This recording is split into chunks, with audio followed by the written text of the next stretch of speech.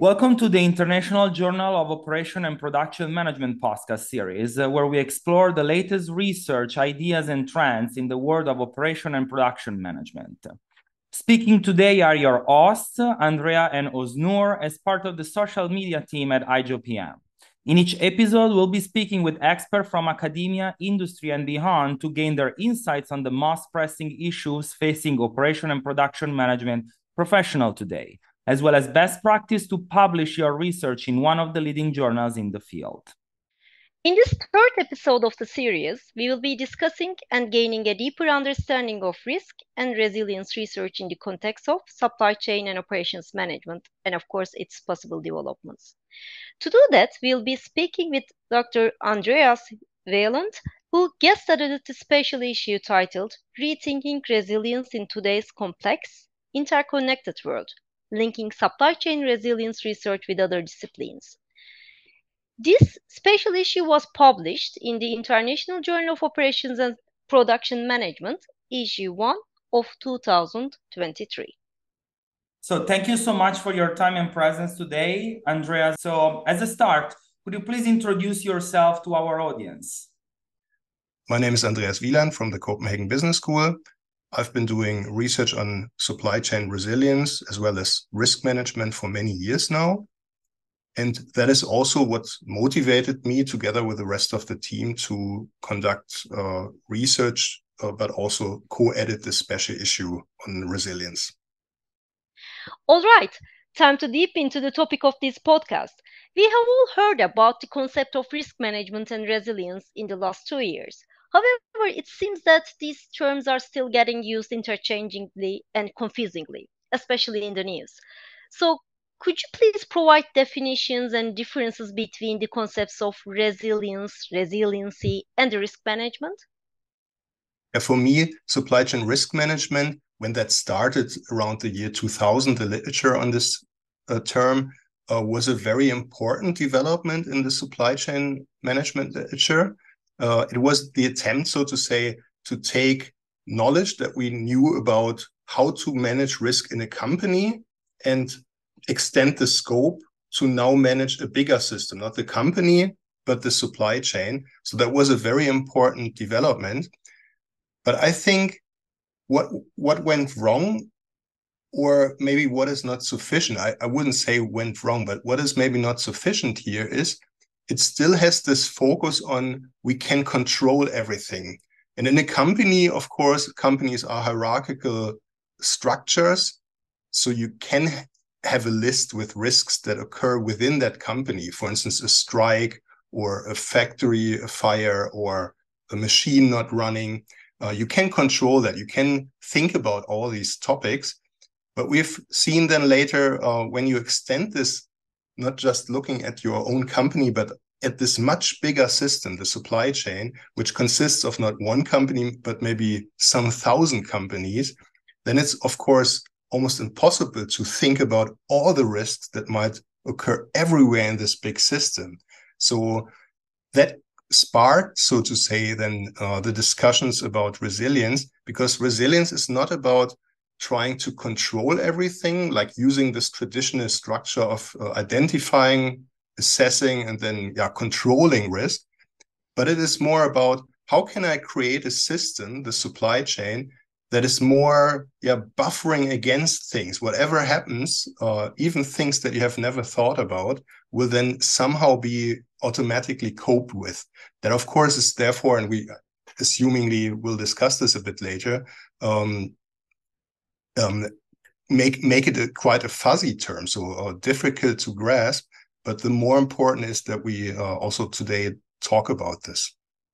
Thank you so much. And you already uh, touched a little bit uh, uh, what what we want to to discuss with you next. Uh, so th these are becoming hot topics, uh, uh, considering what happened in the world in in in the last year. So our question is like, from a practical perspective, have this concept changed uh, compared to how they were perceived and managed three, four years ago? So, COVID, climate change, uh, Russia, Ukraine war. Uh, so, do, do these events have changed the way companies see and define resiliency and risk management in their supply chain from your perspective? Yeah, I would say when the term supply chain resilience emerged, when it was used quite a lot some years ago, or many years ago now, um, it was still seen as somehow like making the supply chain robust, so stabilizing it. Um, as you stabilize an atomic power plant. So if something happens with it, nothing will happen because it's so stable and um, yeah robust um, that nothing really can happen. Or if something happens, then you can bounce back. So this term bouncing back was used very much in the early supply chain resilience literature. And that has changed now. Now it's not bouncing back, it's also about bouncing forward, reimagining how the supply chain might look like in the future. And that is actually what we really try to discuss also in our uh, introduction of the special issue that we say resilience is different things. It is stability, it is controlling things like uh, robustness. That's the first thing. But it's also adaptability. So if things happen, then you are able to adapt to them. So if the climate changes, then the forest can adapt to it. But the same then applies uh, to the supply chain. So if the market environment changes, then you can adapt to it. But also, and that's the third element, to transform in the face of change. So if things are happening, then you then you can even think about where do we want to be in the future. So this goes beyond adaptation because it's proactive. It is about we have learned things and now we know we can't go ahead like this forever. So we really need to do something about it. And that is really how I see resilience. So this is not uh, the old path is bad and the new path is uh, is good. Like transformation is good only, and um, persistence or robustness is bad. But all three elements actually are important. They need to be thought together and uh, in parallel. Thank you. Actually, we believe that this evolution has also an impact on the way companies manage risks and build resilience in their supply chains. In your opinion, what are the most significant challenges that managers face today when it comes to effectively managing supply chain risks and building resilience? And also, we have one more question. What are the some best practices and strategies that you have observed in your research for mitigating supply chain disruptions and enhancing resilience? So I think one improvement in the last few years that is certainly um, due to COVID and the debates around it is that more and more companies have really realized how important supply chain management is and especially how important supply chain resilience is. But I think it still hasn't really entirely arrived uh, in everyone's head um, decision makers often don't have a supply chain education. They don't know about supply chain resilience uh, from their, uh, let's say, MBA courses yet. That is changing now, but still people need to convince the CFO of their company uh, that uh, yeah, money need to be spent into resources that might never be needed in the future. So I think there are some organizational issues around that. Another challenge uh, is certainly also now every company has implemented that, but I've already seen that a few years ago there was this uh, this big earthquake in Japan. Um, everyone was reacting to it. Companies have changed, but then with the next generation of managers and a rather calm phase over a few years where not so many issues happened. So that was before COVID some companies have also forgotten about that. So I think the challenge uh, or the second challenge that I would like to mention is forgetting good practices. So companies, and now I'm switching to your second part of the question, companies need to somehow find a way to really turn risk management and resilience thinking um, that, that that should become a part of the DNA of the company. So when people wake up in the morning, they should already think about what could go wrong and prepare for that, and think about business models that um, are a bit decoupled from big crisis. So connected to uh, what we just discussed, uh, um, so traditionally, when we think about uh, resiliency and risk management, uh, uh, so in companies, this has always been associated with uh, investment in additional resources, which can be seen as a way that compromise company efficiency. So our question is, like, is this still true today? So how in today's world uh, can organization balance the trade-off between uh, reaching efficient efficiency and, and cost advantages and building robustness and resiliency against, against disruption? And do you have any suggestion about model or framework that uh, uh, decision makers in companies can use uh, to uh, make this risk management decision? So I would say resilience is never for free. So there's no free lunch, there's no free resilience. You always need to make investments, uh, yeah, to to increase the resilience of your company, but also, of course, then of your supply chain, of your supply base. Um, because it's not for free, it means you need to invest in different things, and that relates a bit to what I said before. These three views that I uh, proposed uh, that we discuss also in our article um, that is persistence, adaptation, or adaptability and transformability. Um, they require different investments. The first one is, as you say, investments maybe in redundancy, more um, buffer inventory, more people. Addition, so often it's about redundancy also, more transportation rounds, alternatives, more suppliers, not just one. So I think that is crucial, that is still important, that will be important also in the future. But adaptability requires a different type of thinking. It requires um, to think in different ways to hire maybe people, and the same applies for transformability, who are not just trained in risk management and supply chain management, but that can also be social scientists, that can be engineers, that can be um, a team that is, and I think supply chain management has always um, good in putting teams together that that um, are recruited from different areas, cross-functional, even cross-organizational, but even going beyond management thinking and uh, having philosophers on board of people who really know about politics. Many supply chain issues nowadays are political issues. The Ukraine or the, the attack of Russia against Ukraine is obviously a political issue, but it has consequences for supply chain or the trade war that we discussed a few years ago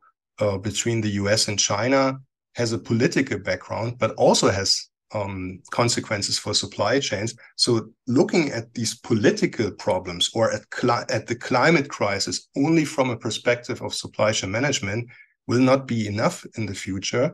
That means uh, we need a team that knows a lot of different things, and we need to train. That's also, if you ask me as an educator, uh, something we we should do about it. So when you talk about frameworks, I would say there is no perfect solution structures uh, like 10 points that you need to do there is more ambiguity but it is possible i think from training and how we hire to uh, get get this ambiguity on board also in decision making.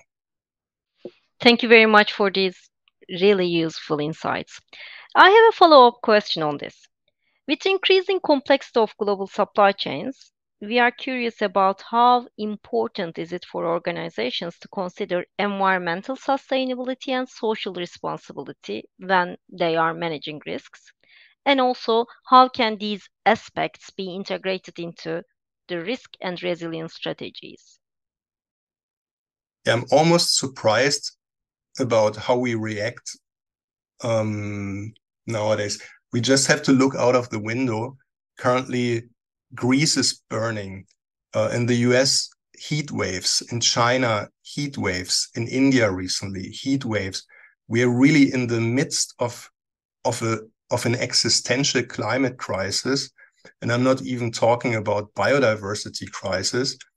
And still, we're very much talking about business as normal, business as usual. That is very different from um, COVID. So suddenly, from one day to the other, uh, whole countries were shut uh, shut down. um, masks were required, etc. So in that case of COVID, we really looked at the crisis. But when it comes to the environment, we are not doing that. I'm very personally, I'm very surprised and also very concerned about it. So I would say in the 21st century, the environmental problems around it, the existential environmental crisis are the should be the focus of any um, decision making uh, of any manager. Business models very soon, and this is really then also talking about adaptation and transformation. Business models very soon will disappear that are harming the environment because uh, within few years we will have to react, we will have to act we will have to not just promise and look at goals uh, or CO2 goals in 50 years from now, but we really have to act now. So therefore, this is one of the core, if not the core of current resilience thinking, and it should at least be there. And those who haven't realized this yet, also for their own business models, should look back at uh, examples like Kodak, uh, where people thought they can go on with old school thinking um, forever.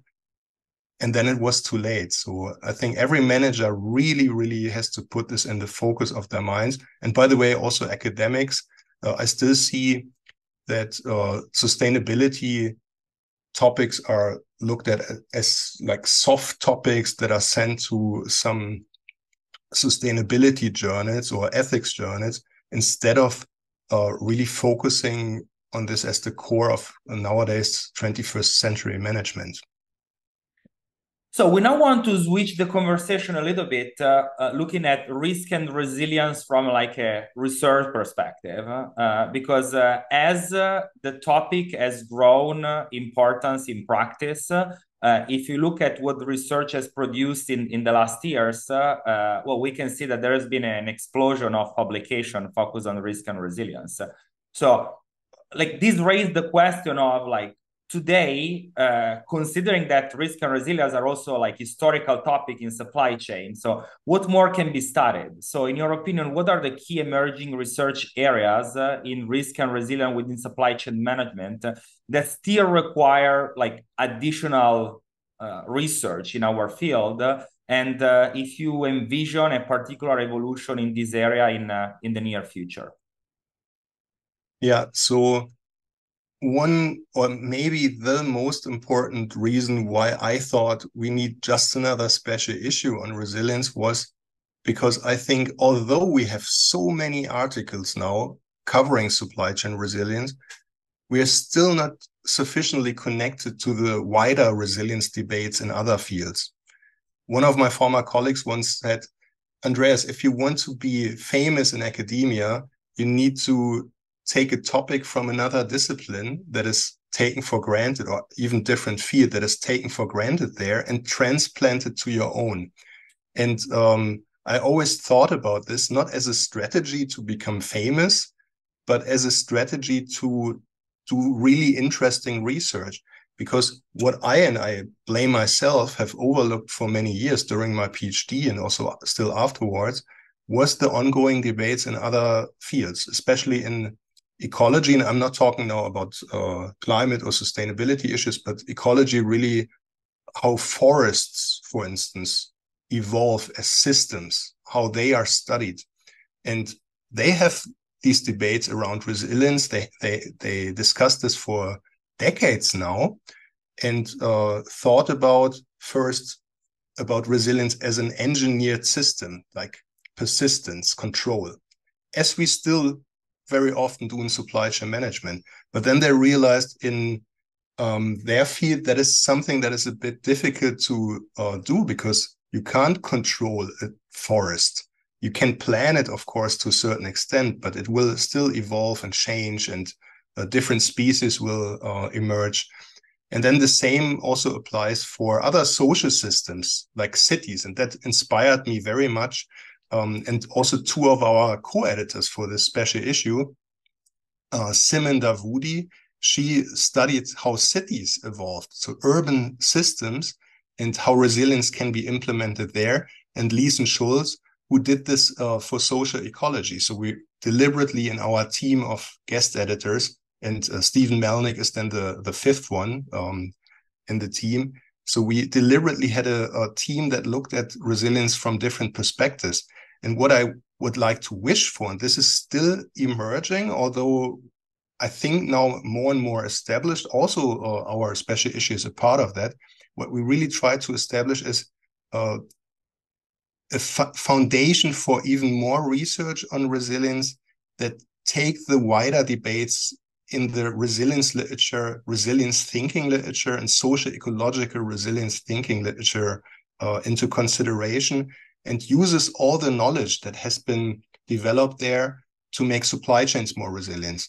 Uh, because supply chain management has quite an engineering tradition, although it's management, uh, we have overlooked or we have been overlooking these topics a bit. Can you please provide examples of recent research studies, maybe findings or trends that highlight innovative approaches to studying risk and resilience, maybe in specific industries or supply chain contexts?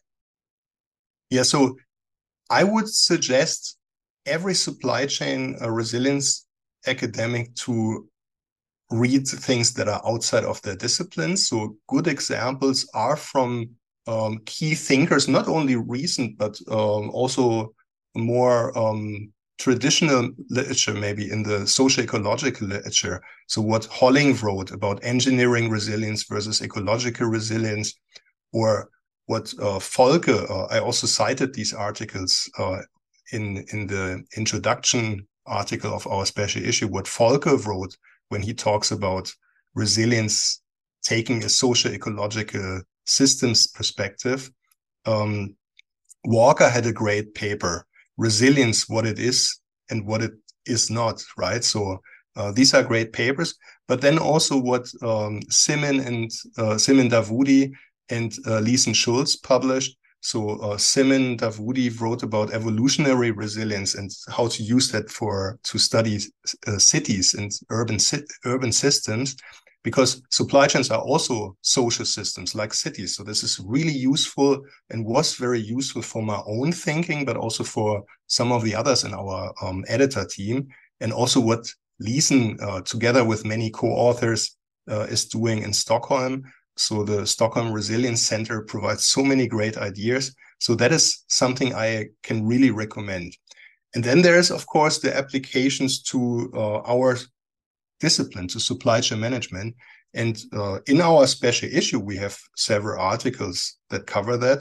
Um, we have an article that looks at Panarchy. By the way, also I've wrote an article, Dancing the Supply Chain, which is a resilience article um, that was published uh, two years ago. But um, many people now in the field and in our special issue also uh, take resilience thinking from other disciplines really uh, seriously. So I can recommend everyone to look into our special issue. Um, and I'm not saying this just because I'm the editor, but I'm really convinced uh, by uh, some of these great thoughts that um, the authors have brought forward here. So thank you so much.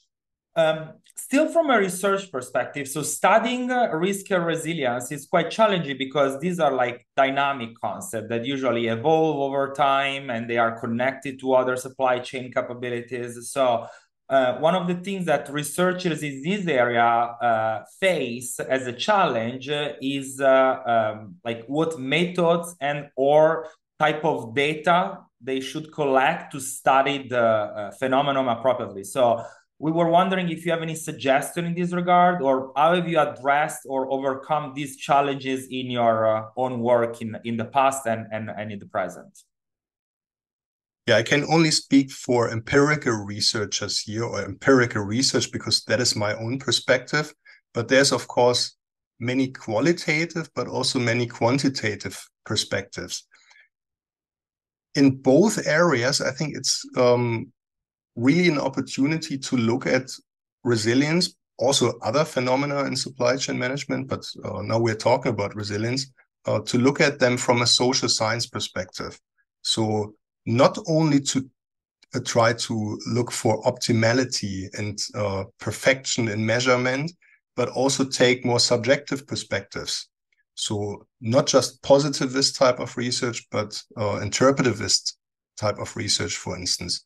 Um, that is in qualitative research is particularly missing, I think, in the supply chain management literature. If you look at neighboring disciplines, even accounting or, um, yeah, of course, organization studies, um, this is much more widespread. So I can suggest or I can um, discuss at least with qualitative supply chain management scholars uh, the opportunity to um, look into different types of qualitative research.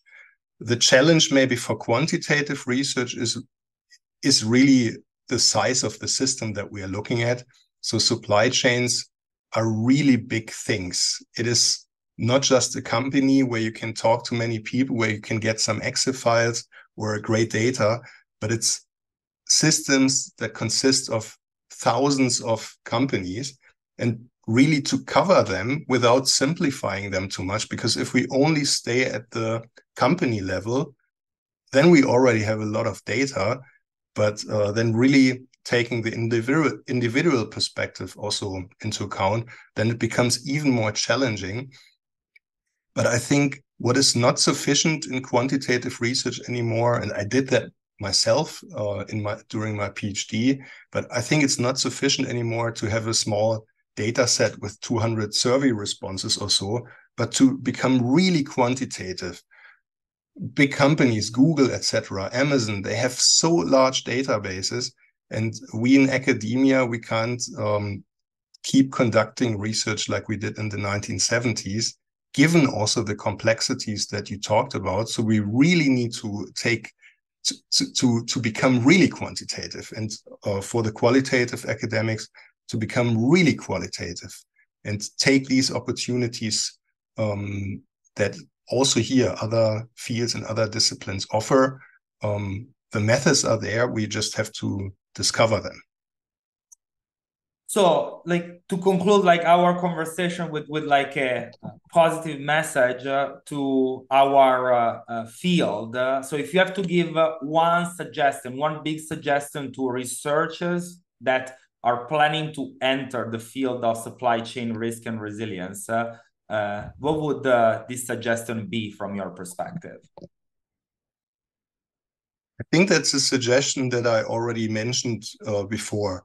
Um, don't just read supply chain journals, try to be inspired by other journals, but then think about this knowledge that you then gained and uh, try to think about what would that mean for a supply chain. Of course, you can't just transfer the knowledge uh, and say a supply chain behaves like a forest or like a dance floor or whatever, but you can at least think about what could um, how, how could this knowledge be transformed so that you can actually then um, think differently about uh, supply chains. And um, I would say that is what we have tried in our special issue. Thank you so much. That's all for today's episode of the International Journal of Operations and Production Management podcast. We hope you found this discussion informative and valuable. We'd like to thank our guest Andreas for sharing their insights and perspectives on this important topic. And a big thank you to you, our listeners, for tuning in. If you enjoyed this episode, be sure to subscribe to our podcast on your favorite platform so you never miss an episode. And if you have any feedback and suggestions for future episodes, we'd love to hear from you. Finally, if you'd like to learn more about the most recent research and trends in the field of operation and production management with a particular emphasis uh, on risk and resilience, uh, be sure to visit the International Journal of Operation and Production Management website at www.emeraldgrouppublishing.com slash journal slash IJOPM. There, you can read the most recent articles, submit your own research, and keep up with the latest development in the field. Particularly, if you visit issue number one, published in 2023, you will be able to read the articles that IJOPM included in the special issue, Rethinking Resilience in Today's Complex Interconnected World, Linking Supply Chain Resilient Research with Other Discipline, which presents the most recent academic development in this field. Thank you for listening again, and we hope to share more insights and perspective with you in the next episode.